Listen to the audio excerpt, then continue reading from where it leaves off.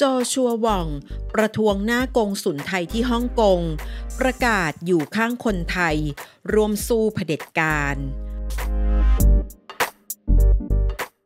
วันที่ 19 ตุลาคม AFP รายงานว่า โจชัวว่อง นักเคลื่อนไหวเพื่อประชาธิปไตยฮ่องกง และเท็ดฮุย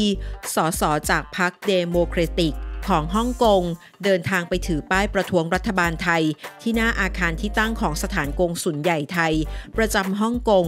กรณีเจ้าหน้าที่ตำรวจ สลายการชุมนุมคณะราษฎร ที่บริเวณแยกปทุมวัน เมื่อคืนวันที่ 16 ตุลาคมที่ผ่านมาโดยโจชัววองถือป้ายที่มีข้อความว่า พวกเราชาวฮ่องกง เป็นกำลังใจให้ผู้ประท้วง พวกเราจะร่วมกันต่อสู้กับเผด็จการ และผ่านมันไปด้วยกัน พวกเราจะยืนเคียงข้างคนไทย และ Stand with Thailand ผมขอเป็นกำลังใจให้ชาวไทยทุกคนนะครับ พันธมิตรชานมสำหรับโจชัววอง เป็นนักการเมืองฮ่องกงดำรงตำแหน่งเลขาธิการพรรคเดโมซิสโต เป็นนักเคลื่อนไหวเรียกร้องประชาธิปไตยในฮ่องกง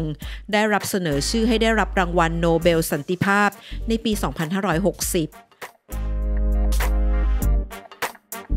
ขอขอบคุณข้อมูลจากข่าวสด อย่าลืมกดติดตามพร้อมทั้งกดรูปกระดิ่ง เพื่อแจ้งเตือนทุกครั้งที่มีคลิปใหม่ๆ จะได้ไม่พลาดคลิปของเรื่องเล่าข่าวค้นนะคะ รักทุกคนค่ะ